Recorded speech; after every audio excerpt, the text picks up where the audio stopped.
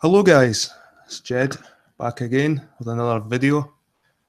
Tonight one's going to be a short video. I was made aware of a photograph um, of a lake, in fact, that has these power pylons running over them. And if you see this uh, photograph, it's obvious proof that the water curves. If people ask, where's the curve?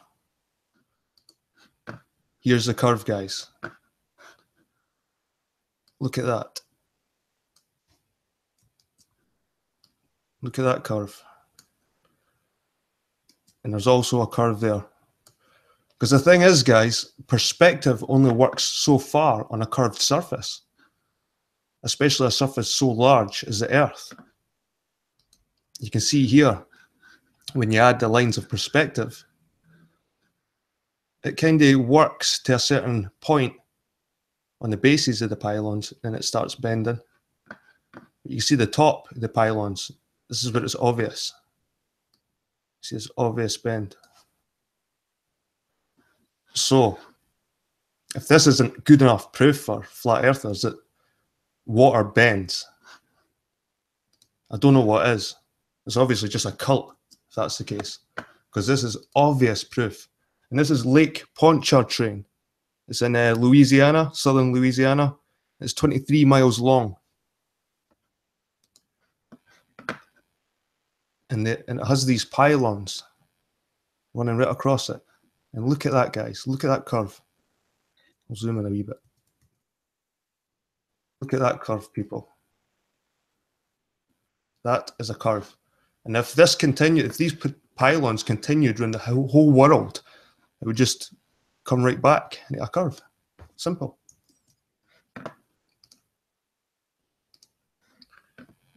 So the YouTube channel Soundly, Soundly, S O U N D L Y, he's been doing a lot of work uh, photographing this lake. And it's good work as well because it's obvious. It's an obvious factor. So it got me thinking, what would this lake look like if it was flat? What would we be seeing if it was flat? How would the pylons be acting on a flat lake? So I recreated. I recreated it in Photoshop using perspective, something Dell's mate Gav can't seem to understand.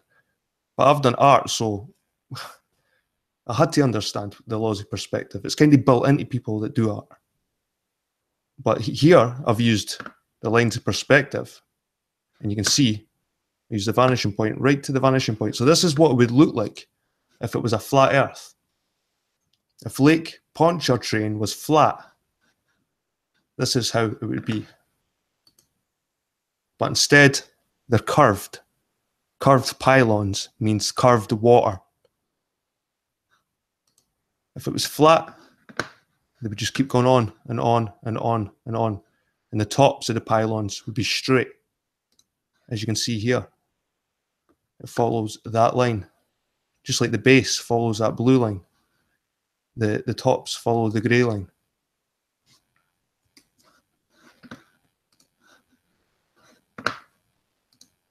You can see here. But then it starts bending away because these flat lines of perspective only work so far on a spherical shape. Things start bending over horizons after a while on a, on a shape. So this this photograph debunks the flat earth. Simple. Simple stuff, guys. Look at that. Look at that. And this is what it looked like if it was flat.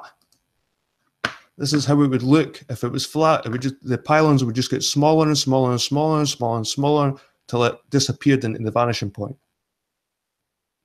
Without a curve, it would just be straight, straight all the way. Like Dell says, level. The water's the best measuring tool. Well, this is how it would look if it was straight. Well, what we find is it's curved. This is reality. This is flat Earth. if it was flat, this is what it would look like. And it doesn't. It looks like this. So people wake up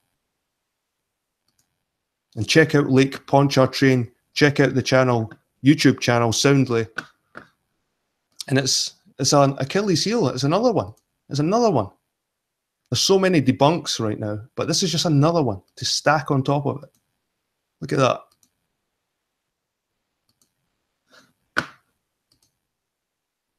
There's the vanishing point. So there you have it, guys. I just thought I'd share this with you.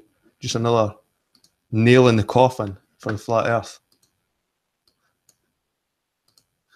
Right. Anyway, I heard uh, Glenn, Earth Vancouver, he's having a hangout later. I think it's midnight around GMT time. Uh, it's six o'clock over where he is. But it should be interesting to hear what he's got to say. Anyway, guys, hope you're having a good night, a good week, and I'll catch you later. Cheers.